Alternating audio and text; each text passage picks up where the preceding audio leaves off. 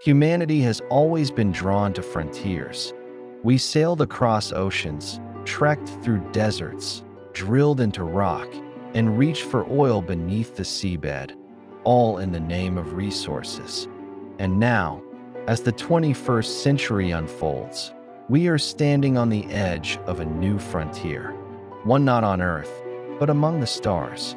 Out there, in the vacuum of space, spin billions of asteroids, ancient rocks forged in the early fires of the solar system.